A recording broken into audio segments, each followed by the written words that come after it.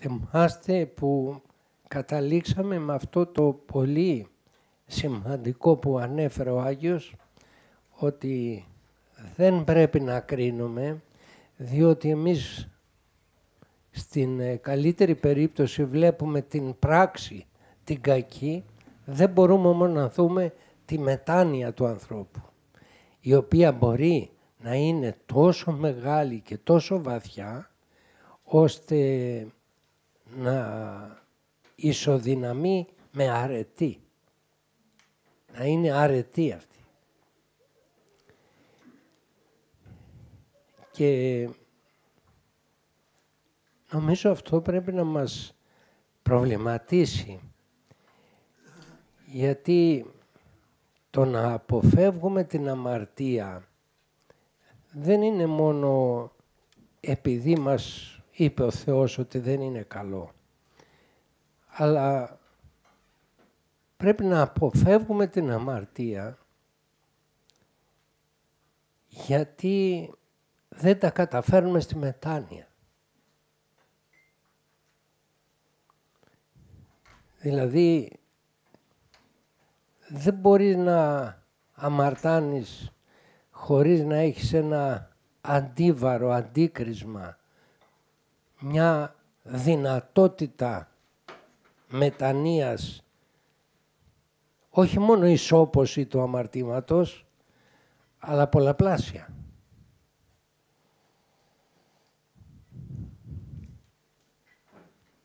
Δηλαδή πρέπει και αυτό να το λάβουμε υπόψη μας.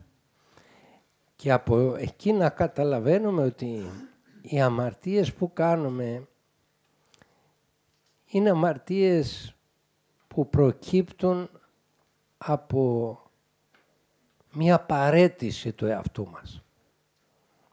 Δεν προκύπτουν από μια ενεργητικότητα έστω και στρεβλή. Δεν προκύπτουν από μια ζωντάνια, έστω διαφορετική ή αντίθετη από αυτό που θέλει ο Θεός. Αλλά προκύπτουν από μία απραξία, μια αφροντισιά. Αυτό που λένε οι Άγιοι Πατέρες, ακιδεία. Δηλαδή, από πλήξη, από ραθυμία, από τελεία αποδιοργάνωση. Τώρα θα μου πείτε τι είναι αυτά που λες. Δηλαδή υπάρχει αμαρτία που έχει ζωντάνια και αμαρτία που είναι αποτέλεσμα σύψεως; Δεν είναι πάντα η αμαρτία σύψη φθορά; Ναι. Δεν θέλω να παρεξηγηθώ, αλλά θέλω να μπορέσουμε να καταλάβουμε τον Αβά Ρόθεο περισσότερο. Είχαμε μιλήσει παλιότερα για το ήθος του κάθε αμαρτωλού, το οποίο δεν μπορούμε εμείς να το διακρίνουμε. Και γι' αυτό λέει ο Άγιος Δρόθεος σε άλλα σημεία εδώ κοντινά σε αυτά που διαβάζουμε ότι δεν μπορείς λέει να ξέρεις βλέποντας το ίδιο αμάρτημα να το κάνουν δέκα άνθρωποι να τους κατατάξεις όλους στην ίδια κατάσταση ο καθένας είναι ξεχωριστός, αμαρτάνει με δικό του τρόπο και γι' αυτό μόνο ο Θεός μπορεί να το κρίνει. Ο πνευματικός βλέπει από την εξομολόγηση του, του ανθρώπου το πώς βλέπει, πώς είδε την αμαρτία του. Και γι' αυτό μπορεί να βοηθήσει τον άνθρωπο. Ένας απ' έξω τρίτος όμως δεν ξέρει. Μαθαίνει, βλέπει, πληροφορείται την αμαρτία του τάδε. Δεν πληροφορείται όμως το πώς έγινε, το γιατί έγινε τι προϋπήρξε, τι ακολούθησε και κυρίως πόση μετάνοια είχε ο άνθρωπος. Γι' αυτό λοιπόν μας λέει ο Άγιος μην προχωρείτε σε κρίσεις που είναι λάθος. Δεν έχουν βάθος, δεν έχουν αλήθεια. Μιλάτε, κρίνετε χωρίς να ξέρετε. Κρίνετε επιφανειακά, επιπόλαια, εξωτερικά. Λέει, όσοι θέλουν να σωθούν δεν προσέχουν καθόλου τα ελαττώματα του πλησίον αλλά προσέχουν πάντοτε τις δικές τους αδυναμίες και έτσι προκόβουν. Σαν εκείνον που είδε τον αδελφό του να αμαρτάνει και στενάσοντας βαθιά είπε «Αλίμονό μου, γιατί σήμερα πέφτει αυτός, οπωσδήποτε αύριο θα πέσω εγώ». Αυτός ο φόβος, αυτή η συνέστηση αυτό το αυθόρμητο που εμάς εκφράζεται με την κατάκριση του άλλου, στους ανθρώπους του Θεού το αυθόρμητο είναι έπεσε αυτός άρα και εγώ σάρκα φορώ, είμαι άνθρωπος, τον κόσμο οικό, άρα πέφτω κι εγώ. Γιατί τι είναι ο άλλος που έπεσε; Α, είναι διεφθαρμένος. Έρχεται αμέσως. Άλλος λογισμός κατηγορίας. Βλέπει ο διάβολος ότι είμαι αυθόρμητα κινούμενος προς αυτή την κατεύθυνση και βάζει αυτό το λογισμό και αυτούς τους λογισμούς που είναι του ίδιου επίπεδου. Το, το αντίστροφο συμβαίνει με μας. Εμείς έχουμε αυτό το αυθόρμητο στην αντίθετη κατεύθυνση. Δηλαδή, βλέπουμε τον άλλον ότι διαπρέπει, ότι κάνει κάτι το οποίο είναι εξαιρετικό και εγώ αμέσως. Ή θα με πιάσει απελπισία γιατί δεν ε, μπορώ να είμαι κορυφαίος, να είμαι ανώτερος από αυτόν ή θα με πιάσει μανία, ζήλια και πάθος να τον ξεπεράσω. Το αυθόρμητο δεν μας έρχεται. Γιατί αυτός πλούσιος και όχι εγώ, γιατί αυτός μορφωμένος και όχι εγώ, γιατί αυτός προβάλλεται και όχι εγώ; Στην αμαρτία όμως, γιατί αυτός έπεσε και όχι εγώ δεν το λέμε. Στην αρρώστια λέμε, γιατί σε μένα, Θεέ μου, η αρρώστια, και όχι σε αυτόν που είναι βλάσφημος, που δεν πάει ποτέ στην εκκλησία, που καταργέται, που είναι έτσι, που είναι αλλιώς. Δηλαδή η κρίση έρχεται πάντοτε επιθετικά εναντίον των άλλων. Και η κρίση του εαυτού μας είναι πάντοτε και ποιητικής και υπέροχη. Ε, τι είναι αυτός τώρα, σιγά. Τι είπε αυτός, σιγά. Τι έγραψε αυτός, σιγά. Τι σπουδάσε αυτός, σιγά. Εγώ όμως σπουδαίος. Δηλαδή, έχουμε τις κινήσεις που θέλει ο Θεός αλλά τις κάνουμε σε τελείως άλλη περίπτωση και προς άλλη κατεύθυνση. Δεν είναι ότι χάσαμε αυτό το αυθόρμητο της συγκρίσεως, το καλό, το χάσαμε.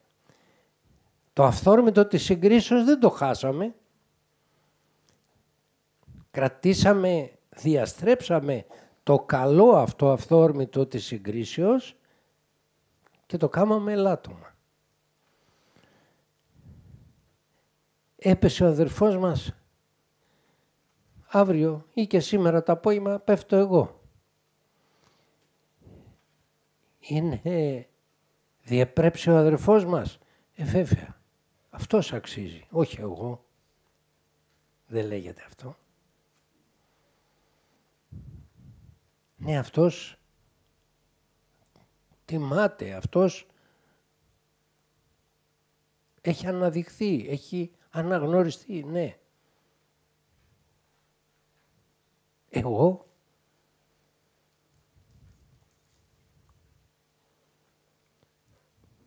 Και αυτό γίνεται γιατί είμαστε σε πολύ χαμηλό επίπεδο. Όταν είσαι στο βαθύτατο υπόγειο που δεν υπάρχει καθόλου φως, για φως έχεις τη φαντασία σου και ό,τι έχεις μάθει, εικάζεις. Όταν είσαι κοντά στον ήλιο, εκεί βλέπεις καθαρά. Ε, οι άνθρωποι του Θεού είναι κοντά στον ήλιο, το Θεό μας. Και βλέπουν καθαρά τον εαυτό τους. Όχι όπως εμείς μέσα στο σκοτάδι. Και βλέπουν παρότι υπερέχουν όλων μας, δεν τι είμαι εγώ λέει. Μπροστά στο Θεό εκεί ένα σκουπίδι είμαι. Τι είμαι. Αυτή η διαφορά είναι και καθοριστική και αβυσαλέα. Αυτή που λέει ο Αβάς Δωρόθεος. Προχωρεί και μας θυμίζει τον Άγιο Απόστολο Πέτρο ότι μας είπε πως μας συμφέρει να αγαπάμε και να αναγνωρίζουμε τον πλησίον μας. Μας συμφέρει. Γιατί η αγάπη προς τον πλησίον καλύπτει πλήθος αμαρτιών μας.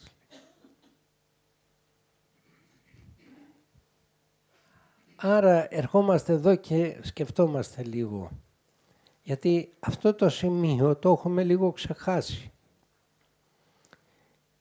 Και μας υποχρεώνει ο Βάσδορόθεος να σκεφτούμε. Άραγε τόσοι άνθρωποι που έχουν κάνει πλήθος αμαρτιών και όμως έχουν αγάπη μέσα τους πηγαία.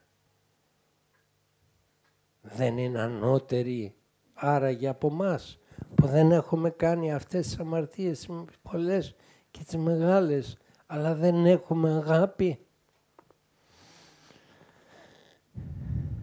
Και γιατί λέμε ότι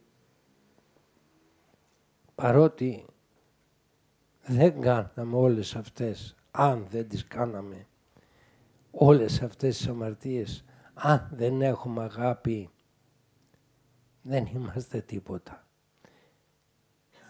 Ο Αρχαίος Απόστολος Παύλος λέει ότι εάν έχω, λέει, τη γνώση και μάθω όλα τα μυστήρια, εάν μάθω όλες τις γλώσσες των αγγέλων και των ανθρώπων, εάν διαθέσω όλη μου την περιουσία και ταΐζω με τα ίδια μου τα χέρια πλήθος ανθρώπων.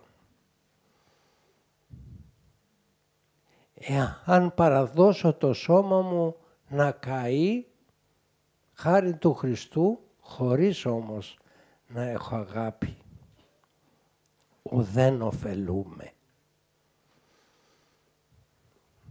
Αυτή η φράση μας τσακίζει τελείως και πρέπει να μας τσακίσει γιατί το κεφάλι πρέπει να πέσει κάτω, στο χώμα πάνω.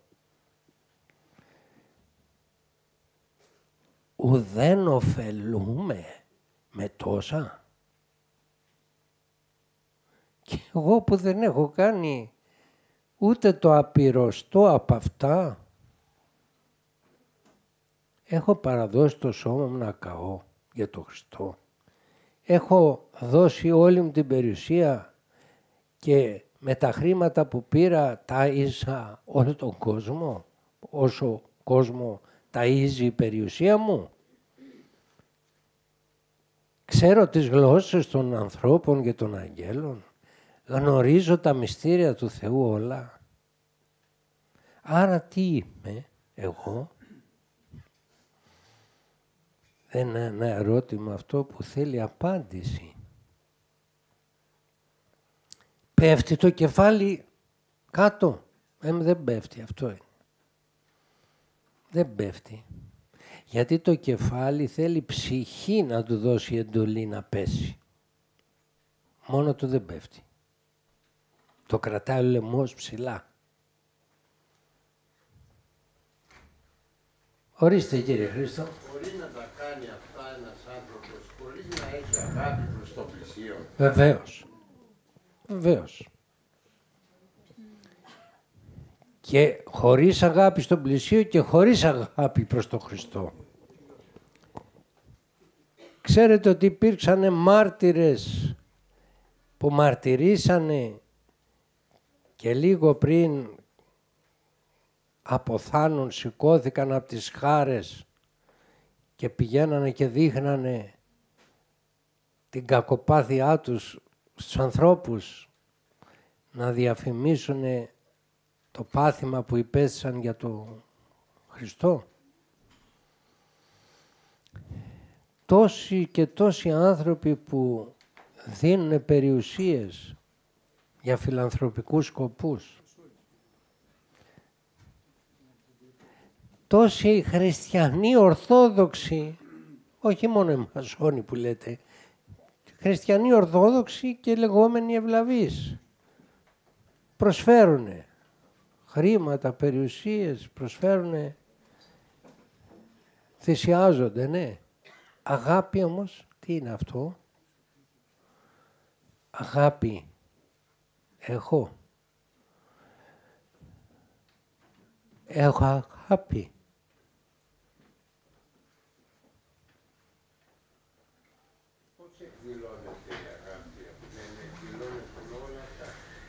Όχι. Φώνησον τον άνδρα σου λέει στη Σαμαρίτιδα. Μιλάς θεολογικά, μιλάς διάφορα, λες.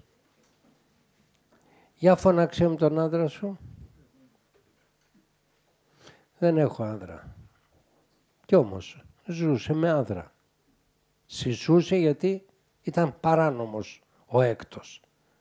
Πέντε άντρες επέτρεπε ο Μωσαϊκός νόμος. Φανταστείτε τι πάθος υπήρχε στους ανθρώπους τότε για να επιτρέπει πέντε χάμους. Ο Θεός, ο Θεός, γιατί δεν το επέτρεπε ο Μωυσής, ο Θεός το επέτρεπε. Φώναξε τον. Τι αγάπη ήταν αυτή; Μέχρι τότε. Πέντε έκτος άνδρας. Και προφανώς ανθρώπινα αισθήματα αγάπης υπήρχαν. Έτσι δεν είναι; Δεν ήταν υποχρεωτικό αυτό που έκανε η Σαμαρίτης; Το ήθελε και το έκανε. Ναι. Και λοιπόν, εμείς έχουμε αγάπη.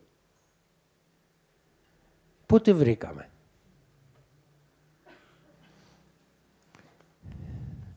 Ξέρετε αγαπημένους φίλους να θυσιάζεται ο ένας για τον άλλον. Ξέρετε αγαπημένα ανδρόγυνα να θυσιάζεται ο ένας για τον άλλον. Έχετε γνωρίσει τη ζωή σας; Όχι. Τότε λοιπόν γιατί λέμε πού είναι η αγάπη, πού είναι, γιατί η αγάπη αυτή δεν μετράει. Δηλαδή, ξέρω την τέχνη της αγάπης, αλλά την εφαρμόζω μόνο στους στοχούς. Μόνο στους στοχούς τη δείχνω. Δηλαδή, όταν ξέρεις μια τέχνη, μπορεί να την ασκήσεις μόνο σε ειδικό χώρο. Αν είσαι μουσικός, Φερρυπίν, μόνο στη λυρική σκηνή μπορεί να παίξεις. Άμα σου πούνε, για παίξε μας ένα κομμάτι από αυτό που ξέρεις, δεν θα μπορείς. Θα πεις, δεν είναι εδώ λυρική σκηνή. Εκεί είναι ο τόπος.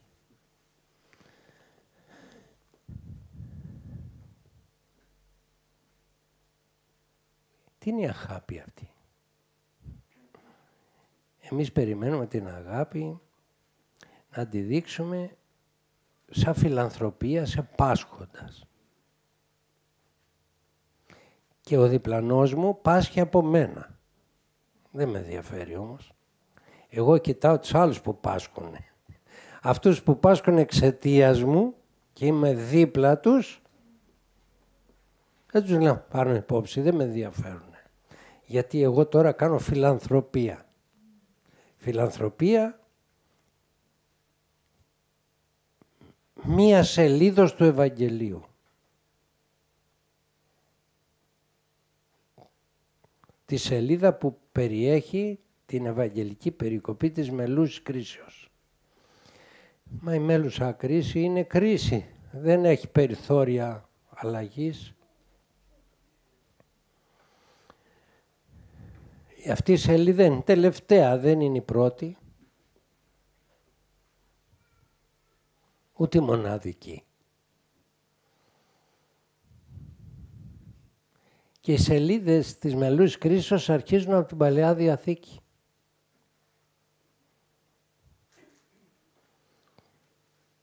Βλέπετε λοιπόν πόσο έχουμε πάει πίσω. Ο Αβάς Δωρόθεος σου λέει ο άνθρωπος που αρχίζει να ημερεύει αγαπάει το διπλανό του άνθρωπο. Φροντίζει. Δεν θέλει να είναι στενοχωρημένο το περιβάλλον του και μάλιστα εξαιτίας του. Λέει, από ποιον άλλο λόγο τα παθαίνουμε όλα αυτά παρά από το ότι δεν έχουμε αγάπη; Γιατί αν είχαμε αγάπη και συμπαθούσαμε και πονούσαμε τον πλησίον μας, δεν θα είχαμε το νου μας στα ελαττώματα του πλησίον. Όπως ακριβώς λέει ο Απόστολος Πέτρος, η αγάπη σκεπάζει πλήθος αμαρτιών εκτός από μας, από αυτά που είπαμε πριν, το ότι θα σκεπάσει ο Θεός πλήθος αμαρτιών μας όταν έχουμε πραγματική αγάπη, γιατί γνωρίζει το ασθενές της ανθρωπίνης φύσεως, αλλά γνωρίζει ότι το ήθος της ψυχής και τα αισθήματα της ψυχής δεν εμποδίζονται από το ευόλιστο της σαρκός. Και λέει τα όσα είπαμε. Να το πάρουμε και αλλιώς τώρα. Όχι μόνο η αγάπη καλύπτει πλήθος των αμαρτιών μας που κάνουμε, αλλά εάν είχαμε αγάπη για τον άνθρωπό μας, η αγάπη αυτή θα κάλυπτε όλα του τα ελαττώματα. Και όχι μόνο τα ελαττώματα, αλλά και τα αμαρτήματα, δηλαδή όσα προέρχονται, όσες ενέργειες και πράξεις προέρχονται από τα ελαττώματά του. Γνώρισα μια γυναίκα ήμουνα μικρός τότε, η οποία είχε μαρτυρήσει από τον άνδρα της. Αλλά τον αγαπούσε πολύ. Αυτή ήταν πολύ πιστή και ο άνδρας της άθεος. Παρακολουθούσα από μικρός γιατί ήταν κοντινός σε συγγένεια πρόσωπο και έλεγα από μέσα μου πώς αυτή η γυναίκα συνεχώς είναι χαρούμενη. Δεν έχει πει μια κουβέντα σε αυτόν τον άνθρωπο που δημόσια την εξευτέλιζε. Δεν είπε πίσω από την πλάτη του μία λέξη σε κανέναν. Δεν εξέφρασε ποτέ αισθήματα αντιπαθίας ή να πει κάτι εναντίον του. Και είχε πάντοτε να βρει κάτι καλό να πει γι' αυτό. Πέρασε μία ζωή σαν να ήταν άγγελος. Ως άνθρωπος βέβαια και αυτή θα είχε τη στενοχώρια της, θα είχε τις θλίψεις της. Αλλά αυτό που υπερήχε ήταν η χαρά. Στο βλέμμα, στα λόγια. Όπου βρισκόταν έφερνε χαρά. Δεν έφερνε τη θλίψη αυτή, δεν έφερνε μια ζωφερή ατμόσφαιρα. Και σας είπα, ήτανε, δεν ήταν ένα μαρτύριο το οποίο το περνούσε στα κρυφά αυτή και μπροστά στους άλλους ο άνδρας της είπε το, μπροστά σε όλους έδειχνε αυτή τη συμπεριφορά. Και πράγματι και στην κίνησή της ήταν ένα πρόσωπο σιακό.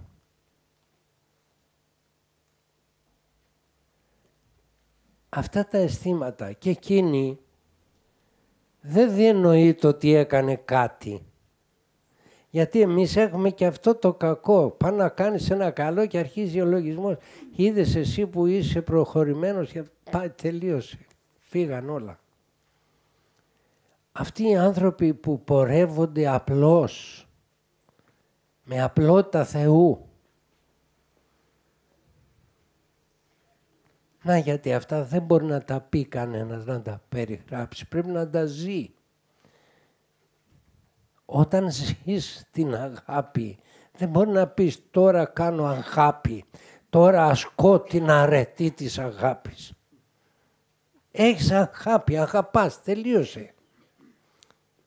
Δεν κάνεις ένα καθήκον, δεν είσαι εκείνη την ώρα ο υπερέχον που επειδή σαν χριστιανός πρέπει να υπομείνεις, υπομένεις, αλλά αγαπάς. Τι είναι αυτό, δεν μπορώ να το πω. Ένας που ζούσε αυτά θα το έλεγε με έναν τρόπο να σας το φέρει μέσα στη ψυχή. Δεν μπορώ. Αλλά θέλω να καταλάβουμε ότι δεν μιλάει ο Θεός και οι Άγιοι Του για κάτι το οποίο το σχεδιάζω στο σχεδιαστήριο της ευλάβειας, της θρησκευτικότητός μου και προσπαθώ να τσακίσω το χαρακτήρα μου να αγαπήσω. Και κάνοντάς το αυτό την επόμενη ώρα ανακτώ γιατί ο άλλος δεν βλέπει το πόσο έχω στριμωχτεί εγώ για να κάνω υπομονή για τις πράξεις του. Νευριάζομαι κιόλας. Εγώ υπομένω, κάνω, δεν μιλάω όλοι. Και μετά, οχετό σου πετάω. Όλα που δεν τα είχα χωνέψει, στα πετάω πάνω σου. Πώς αυτοί οι απλοί άνθρωποι χαιρότανε τη ζωή τους, χαιρότανε την ψυχή τους, χαιρότανε η ψυχή τους να αγαπάει. Δεν τους ενδιαφέραν άλλα πράγματα. Ναι, η αγάπη δεν χρειάζεται ανταπόδοση. Από μόνη της είναι αυτάρκης, είναι πλήρης. Η αγάπη δεν χρειάζεται, δεν είναι αλυσιβερήση.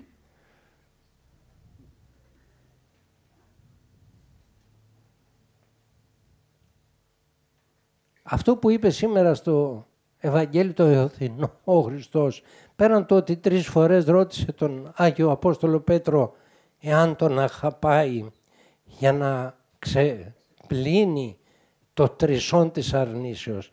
Έχει να μας πει και μας επιπλέον πράγματα. Μας ρωτάει, με αγαπάς; Με αγαπάς. όχι απλώς τηρείς τον νόμο μου, είσαι συνεπής στα καθήκοντα. Όχι, δεν είναι, αφού αρνήθηκε. Εκείνη τη στιγμή αρνήθηκε, αλλά η αγάπη είναι κάτι πιο βαθύ.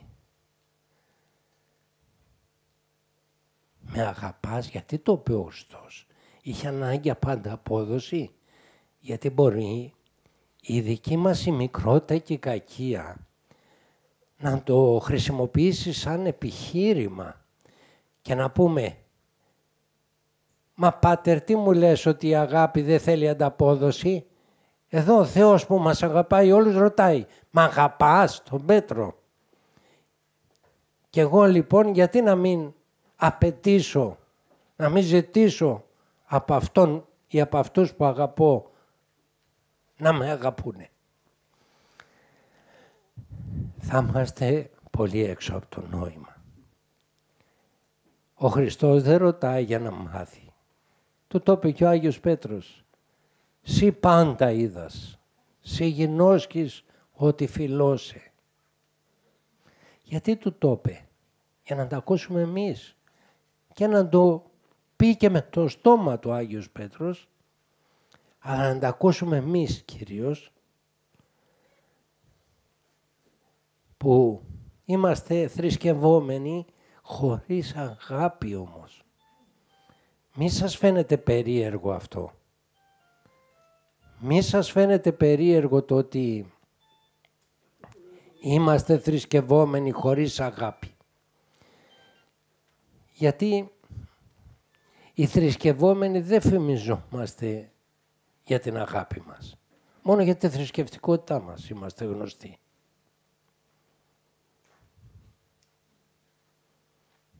Πάμε στην εκκλησία, έχουμε, νηστεύουμε, έχουμε τον πνευματικό μας, διαβάζουμε πνευματικά βιβλία. Ε, αυτό είναι. Αγάπη, πού είναι; Πού είναι η αγάπη αυτής της γυναίκας; Μα ο άντρας μου ξέρετε ποιος είναι; Δεν με ενδιαφέρει. Η γυναίκα μου ξέρετε ποιος, πώς είναι; Δεν με ενδιαφέρει. Εγώ ξέρω πώς ήταν ο άνθρας αυτής της γυναίκας. Ξέρω πώς ήταν η γυναίκα του παπά Δημήτρη του Γκαγκαστάθη. Μου φτάνει αυτό. Και λοιπόν, τι έγινε; Επόθησε και τον παπά Δημήτρη και τη γερόντισα Θεοδοσία τη λέγανε να αγαπήσει.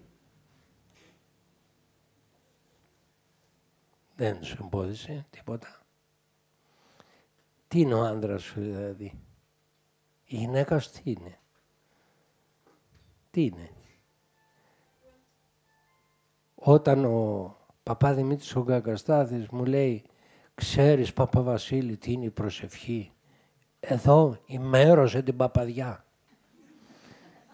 Δηλαδή είχε την παπαδιά του σαν κριτήριο για να αξιολογήσει κανείς τη δραστικότητα της προσευχής. Φανταστείτε λοιπόν, ένας άνθρωπος που δεν ήταν τυχαίος να λέει λόγια, ποιος έχει τέτοια γυναίκα, ποιος έχει, ώστε να δικαιολογείται; Θα πει ότι η δική μου γυναίκα είναι, ξεπερνάει τη γυναίκα του Παπαδημήτρη όταν ήταν στη φάση εκείνη την επιθετική και την άγρια. Γιατί στο τέλος ημέρωσε, όπως μας το είπε ο ίδιος, ημέρωσε την παπαδιά. Λοιπόν, είμαστε θρησκευόμενοι, ναι. Αγάπη έχουμε, δεν έχουμε αγάπη. Και η, η στέρηση αυτή προχωρεί πολύ βαθιά. Προχωρεί ακόμη και σε εμάς τους κληρικούς. Ζητάνε κάποιοι κληρικοί μόλις κοιμηθεί η πρεσβυτέρα τους να κάνουν άλλο γάμο. Πού είναι η αγάπη; Πού είναι; Τι αξία έχει η ιεροσύνη έτσι;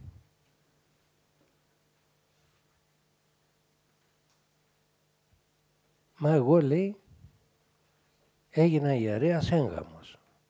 Και λοιπόν σου υπέγραψε ο Θεός συμβόλαιο ότι θα πεθάνει η πρεσβυτέρα σου μετά από σένα.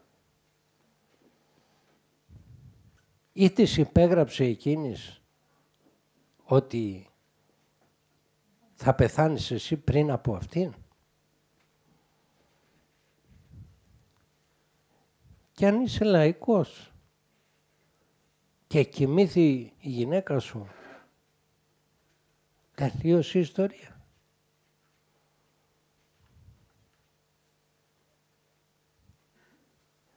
Δηλαδή όλα αυτά δεν ελέγχουν τη θρησκευτικότητά μας. Το να ζητάς διαζύγιο όσο γίνεται πιο γρήγορα, αυτόματο που λέγανε παλιά, το αυτόματο διαζύγιο. Τι είναι αυτό, αγάπη είναι. Και το ωραίο είναι ότι βρίσκεται έτοιμο πρόσωπο. Λέει, θα παντρευτώ, λέει αυτόν, ε, έχει χωρίσει από τη γυναίκα του, θα τον παντρευτώ εγώ. Δεν λέω, υπάρχουν και εξαιρέσεις. η Εκκλησία μας δέχεται το δεύτερο και το τρίτο χάμο για να μην φτάσουμε εκεί που στο απροχώρητο. Αλλά ρωτώ, χώρισε αυτή η γυναίκα από έναν άλλον άνδρα και πας εσύ να την πάρεις αυτή, ναι. Δηλαδή εσύ θα είσαι ο καλύτερος. Μα ξέρετε τι ήταν ο άντρας της; Όχι. Ξέρω τι θα είναι αυτή όμως.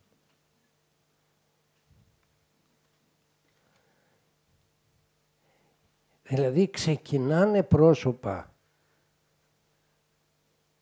να τελέσουν γιατί αν και οι δύο έχουν οδηγηθεί στο χωρισμό είτε από απροσεξία είτε επειδή δεν είχαν γνώση τη, της πνευματικής ζωής, δεν είχαν ακούσει για εκκλησία και βρίσκονται δύο άνθρωποι έτσι που έχουν ναυαγίσει στην πρώτη προσπάθειά τους και προχωρούν, εκεί ο Θεός και ο Πνευματικός ξέρει τι πρέπει να γίνει. Αλλά εσύ σαν ύπανδρος, είτε άνδρας είτε γυναίκα, και προχωρείς να πάρεις και μάλιστα προχωρούν ακόμη περισσότερο. Να πάρει ένα άνδρα που έχει δύο παιδιά ή μια γυναίκα που έχει δύο παιδιά. Πού πας βρε; Πού πας να ανακατέψεις τις οικογένειες; Τι ζητάς να βρεις εκεί; Ναι, η αδυναμία υπάρχει, ο Θεός καλύπτει τις αδυναμίες μας, μας ενισχύει μέχρι εκεί που δεν γίνεται παρανομία, αλλά δεν πρέπει και εμείς να έχουμε κάποια κριτήρια, να έχουμε κάποια, κάποιο σκεπτικό όταν προχωρούμε.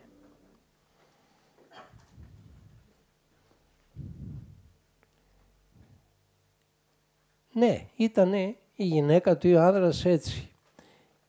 Η αγάπη τι είναι;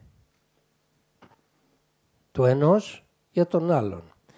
Ο ένας ήταν χάλια που δεν μπορεί ο Θεός να επιτρέψει ένα χάλια να πάρει έναν σωστόν εκτός εάν είναι Άγιος αυτός ο σωστός όπως ήταν ο Παπαδημήτρης που το έδωσε διακόνημα να ημερέψει αυτό το άγριο ζώο που λεγόταν παπαδιά.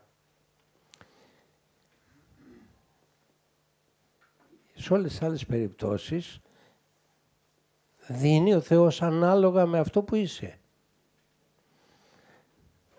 Τι διαμαρτύρεσαι λοιπόν; Λέει η Αγία Γραφή. Γεννή πονηρά, ανδρεία μαρτωλό Λες ότι η γυναίκα σου είναι πονηρή, άρα είσαι αμαρτωλός. Το λέει η Αγία Γραφή. Κατηγορείς τη γυναίκα σου, αλλά κατηγορείς αυτόματα κι εσύ. Λες ότι ο άνδρας σου είναι πολύ αμαρτωλός, άρα είσαι πονηρή, γι' αυτό τον έδωσε ο Θεός. Δεν διδασκόμαστε με τίποτα. Μόνο όταν κρίνουμε τους άλλους μπορούμε να διδάσκουμε. Γιατί μου έδωσε αυτή τη γυναίκα ο Θεός; Την πονηρή. Γιατί είμαι πολύ αμαρτωλός. Έχω κάνει πολλές αμαρτίες στη ζωή μου.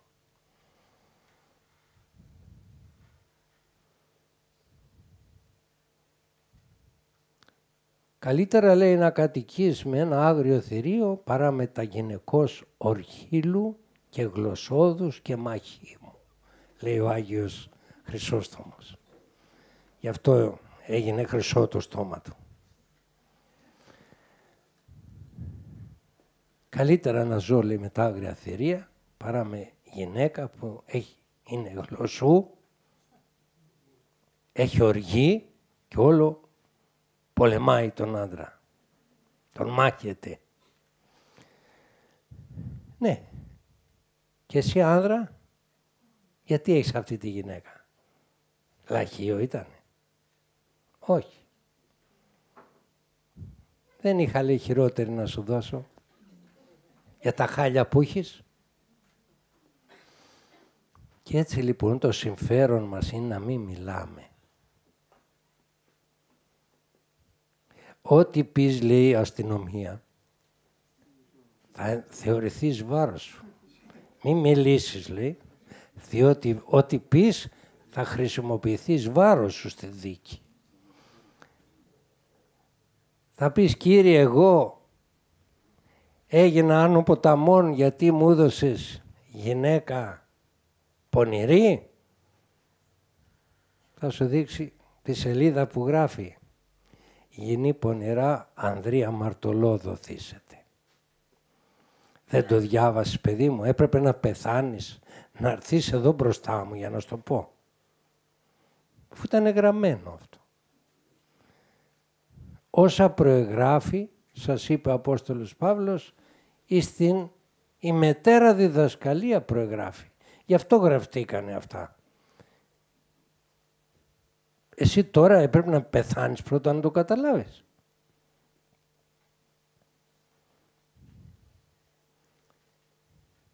Γι' αυτό και ο Καποδίστριας νοθετούσε τους ιερείς που θέλανε δεύτερο γάμο. Από τότε, ναι. Πού πας, Πάτερ, λέει. Δεν βλέπεις τον Άγιο Απόστολο Παύλο. Ο ιερέας επέμενε. Λέει, καλύτερα λέει να νυμφευθείς παρά να πυρώνεσαι από το πάθος. Αυτή τη φράση κράτησες του λέει μόνο.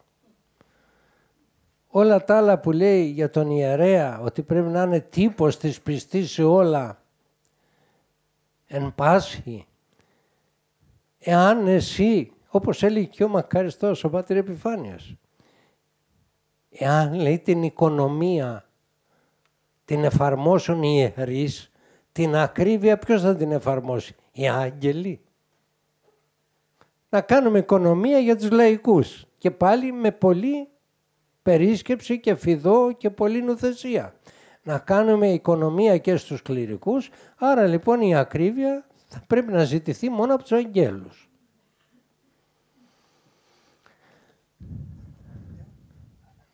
Ένθα οικονομητέων, ένθα ου παρανομητέων, έλεγε και ο Άγιος και ο Αγίος και το επανέλαβε ο Άγιος Μάρκος ο Ευγενικός. Λοιπόν, βλέπετε πως πάνε τα πράγματα. Τι είναι αγάπη τελικά; Τι είναι αγάπη; Είναι ζωή η αγάπη; Ε, είναι ζωή. Η αγάπη δεν είναι πάθος εμπαθές, είναι πάθος απαθές. Η εμπαθής αγάπη όταν δεν βρει ανταπόκριση εκδικείται. Αλίμονος αυτόν που θα αποκρούσει ερωτικό πάθος απέκτησε ήδη ένα θανάσιμο εχθρό.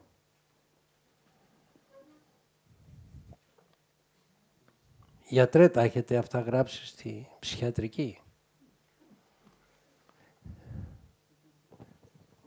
Ε, τα έχετε γραμμένα; Ε, τα έχετε δει στην πράξη; Αν, αν, αν πούμε ότι η ψυχιατρική είναι ένα σύνολο η θεολογία σαφώς είναι το υπερσύνολο. Δηλαδή, είναι πολύ πιο ευρεία επιστήμη και αυτά περιγράφονται από τους Άγιους Πατέρες. Η ψυχιατρική δυστυχώς έχει περιγράψει 4, 5, 10 οντότητες ως εκεί. Από εκεί και πέρα η θεολογία, το Ευαγγέλιο και οι Άγιοι Πατέρες είναι αυτοί που τα, που τα εμπεριέχουν όλα. Και πραγματικά στους Άγιους, στους Αγίους Πατέρες μπορεί να βρει κανείς τα πάντα. Τα πάντα και το εννοώ αυτό. Άρα είμαι από αυτούς που, που λέω ότι η θεολογία είναι πολύ πιο ευρεία επιστήμη από την ψυχιατρική. Έχει και τα κόλπα του διαβόλου που διαμορφώνουν την ψυχολογία των ανθρώπων. Πράγμα το οποίο η ψυχιατρική όχι μόνο δεν το έχει, αλλά δεν δέχεται ότι υπάρχει κιόλας. Και γι' αυτό δεν ωφελείται. Τα κόλπα του διαβόλου, όπως και οι καιρικές ακόμη μεταβολές, επηρεάζουν τον ψυχισμό του ανθρώπου. Και μου κάνει εντύπωση, εννοώ, έχουν κάνει επιστήμη την αστρολογία, όχι την αστρονομία είναι επιστήμη, την αστρολογία έχουν κάνει επιστήμη και δέχονται τα άστρα να επηρεάζουν την ψυχολογία του ανθρώπου, αλλά τους δαίμονες δεν τους δέχονται. Δηλαδή οι πέτρες με επηρεάζουν, αλλά οι οντότητες, τα όντα, τα πνευματικά της πονηρίας δεν με επηρεάζουν. Είναι επιστήμη αυτή. Είναι λογική αυτή. Τα άστρα πώς με επηρεάζουν δηλαδή; Οι πέτρες επηρεάζουν εκεί, δεν με επηρεάζουν και τα βράκια που είναι κοντά μου. Πρέπει να είναι ψηλά τα βράχια για να σε επηρεάσουν. Όταν πας στα βράχια της θάλασσας, εκεί δεν έχεις επηρεασμό. Ο ίδιος ο γιατρός που συνιστά να πας στη θάλασσα για να ανοίξει η καρδιά σου, η ψυχή σου, σου λέει σε επηρεάζει τα άστρα. Λέει σήμερα ο Δίας είναι με τον κρόνο σε διασταύρωση και πάνε να συγκρουστούν τα συμφέροντά σου, γι' αυτό μην κάνεις οικονομικές δοσοληψίες και συναλλαγές γιατί θα αποτύχεις. Και άμα διαβάσεις ένα άλλο αεροσκόπιο λέει τελείως αντίθετα. Από άλλο περιοδικό, από άλλη εφημερίδα. Ναι, πάρτε να δείτε γιατί ο, ο πατήρ Επιφάνης είχε κάνει ένα τέτοιο, είχε πάρει διάφορα αεροσκόπια από διάφορες έτσι, περιοδικά, εφημερίδες της εποχής και τα έχει βάλει της ίδιας μέρας τώρα. Μόνο που είναι αλλού εντύπου. Και για το ντοξότη, ας πούμε, έλεγε άλλα πράγματα το ένα περιοδικό, άλλα το άλλο, άλλο το άλλο. Ο καθένας παίρνει ένα περιοδικό και διαβάζει αυτά που του λέει. Και δεν παίρνει κανείς να κάνει αυτό το συσχετισμό, να πει τι κάνετε εδώ ρε παιδιά; Να τους εξευτελίσει. Ορίστε γιατρέ.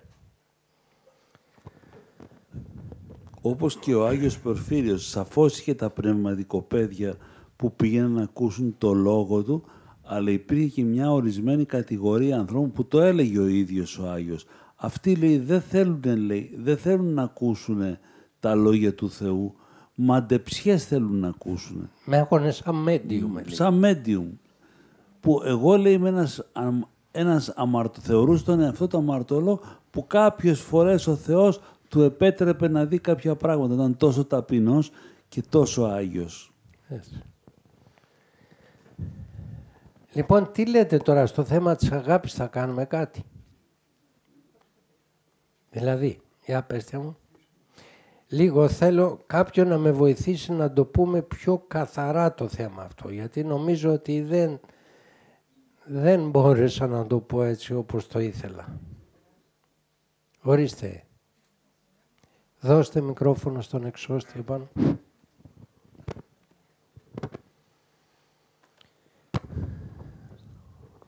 Καλημέρα, την ευχή σας. Ε, να ρωτήσω κάτι, έτσι που με απασχολεί.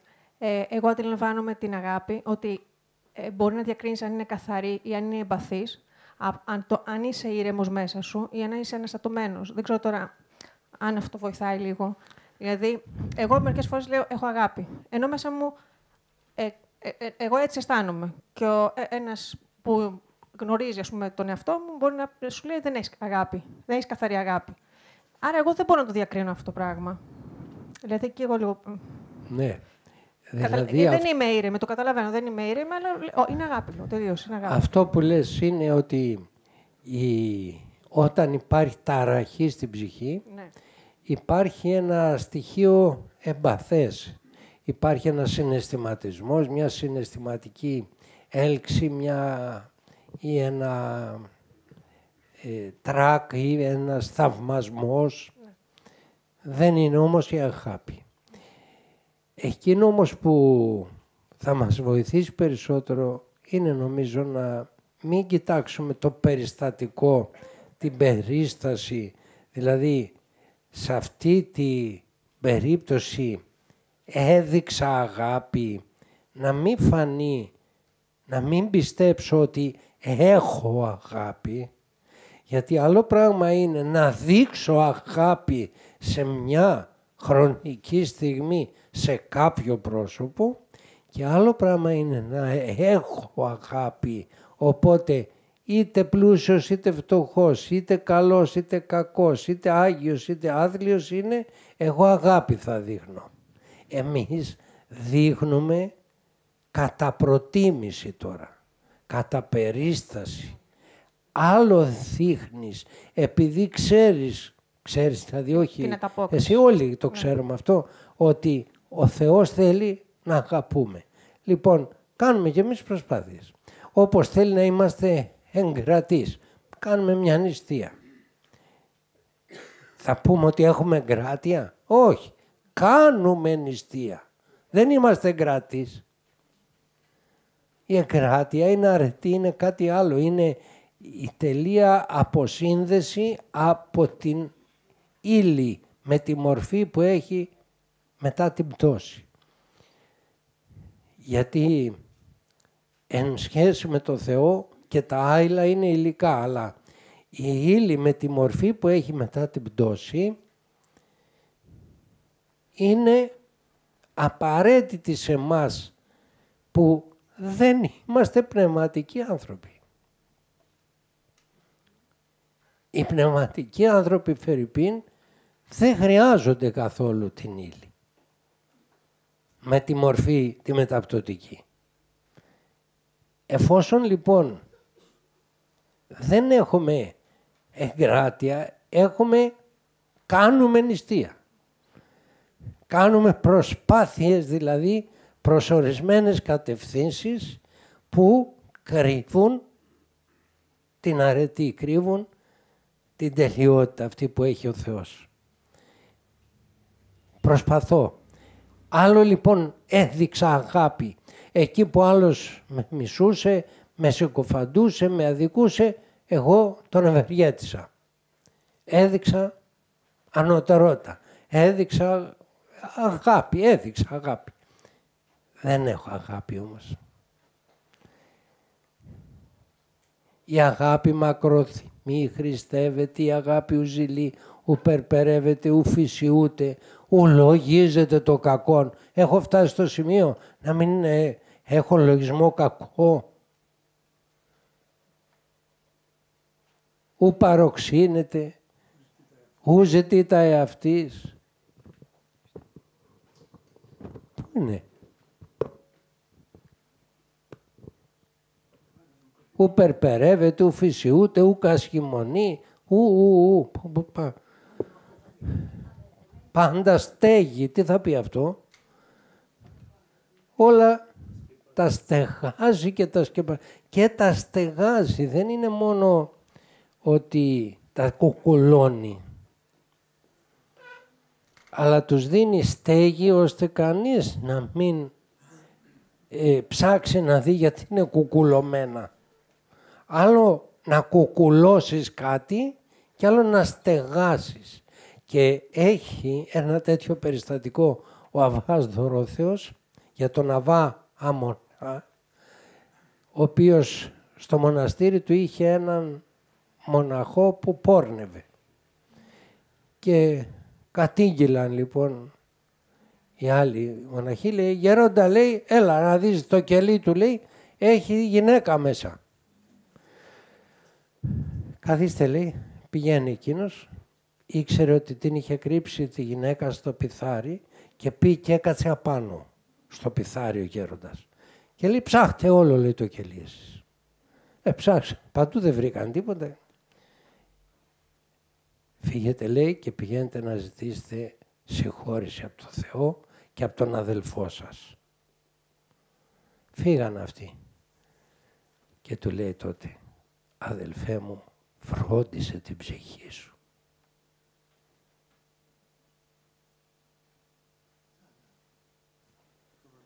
Στέκει έδωσε. Δεν κουκούλωσε. Δεν δικαιολόγησε απλώς, δεν είπε εκείνο. Το στέγασε. Έφυγαν οι αδελφοί, δεν μάθανε τίποτε. Ίσα ίσα αισθάνθηκαν ότι έβαλαν πονηρό λογισμό. Τόσο πολύ να δούμε γυναίκα και να μην υπάρχει. Δηλαδή φανταστείτε πόσο και αυτοί ταπεινώθηκαν, ε. Σου λέει τέτοια εμπάθεια έχουμε και τι κανόνα θα τους έβαλε και ο γέροντας.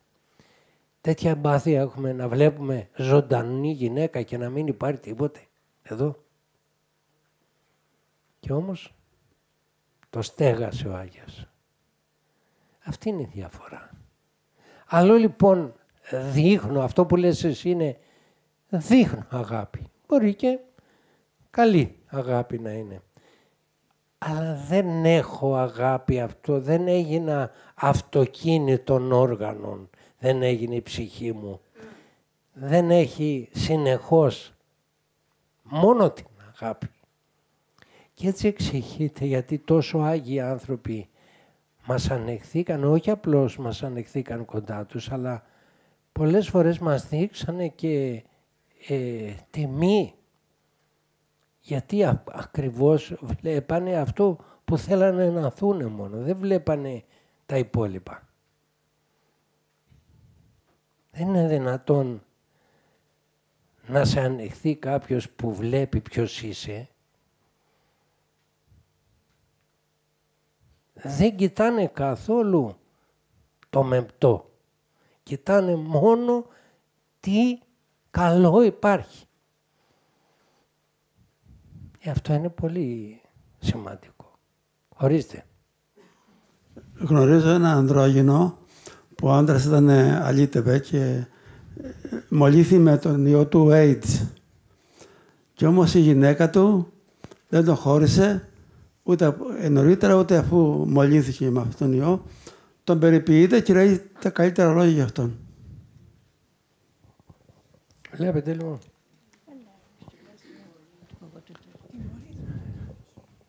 Υπάρχουν άνθρωποι. Υπάρχουν και άνθρωποι βέβαια που ανέχονται πολλά και δέχονται πολλά και καλύπτουν πολλά και σκεπάζουν πολλά, όχι από αγάπη, αλλά από υπερηφάνεια. Δηλαδή, δεν λέω, γι' αυτό είναι, δεν είναι εύκολο να πούμε, δεν λέει αυτό αυτός ή αυτή για τη γυναίκα του ή για τον άνδρα του κακό, άρα έχει αγάπη τελεία. Υπάρχουν πολλοί που δεν θέλουν να μιλήσουν για τα ελαττώματα του άνδρα τους ή της γυναίκας τους, όχι γιατί αγαπούν, αλλά γιατί έχουν εγωισμό, έχουν αξιοπρέπεια τέλος πάντων. Έχουν μια αυτή ευπρέπεια δεν θέλουν να εκθέτουν αυτό που λέει και η, η παροιμία. Τα ενίκο μη ενθύμω. Να σκεπάσουν, να μην μάθουν οι άλλοι, δεν χρειάζεται να ξέρουν. Και εγώ τρέφω άσβεστο μίσος εναντίον του άνδρα μου ή της γυναίκας μου, απλώς έξω δεν λέω τίποτε κακό. Θα μου πείτε αυτό είναι καλό; Το να μην λέω είναι καλό. Δηλαδή από εκείνον που δεν λέει και από εκείνον που λέει εφόσον και οι δύο δεν αναπτύσσουν μίσος μέσα τους, έστω και αν δεν έχουν αγάπη, είναι καλύτερος αυτός που δεν λέει. Αλλά εάν αυτός που δεν λέει έχει μέσα του μίσος, δεν το λέει όμως γιατί αισθάνεται ότι υποτιμά και τον εαυτό του, φτύνει τον εαυτό του και ο άλλος που το λέει αλλά δεν κρατάει μίσος, το λέει πάνω στα νεύρα του και μετά ξανά προσπαθεί να αγαπήσει τον άνθρωπό του, αυτός είναι ανώτερος. Γιατί το πάθος που φωλιάζει μέσα μας είναι το πιο επικίνδυνο.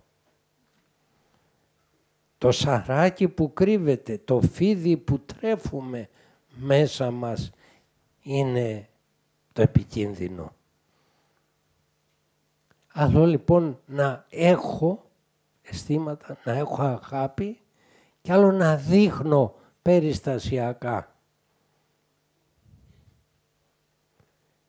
Πολλές φορές βέβαια η αγάπη δείχνεται και με έναν τρόπο πολύ αυστηρό, μια αγάπη που δεν έχει καθαριστεί πλήρως.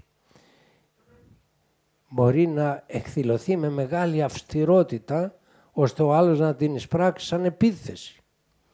Αλλά επειδή το θέμα έχει πολλές πτυχές, να αρκεστούμε σε αυτά, να σταθούμε ως εδώ, να πάτε κι εσείς